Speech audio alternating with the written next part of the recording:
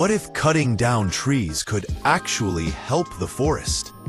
In the United States, millions of pine trees are harvested every year, but not from untouched wilderness.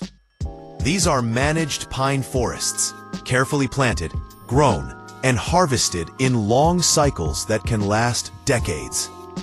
When a section is cut, another is replanted.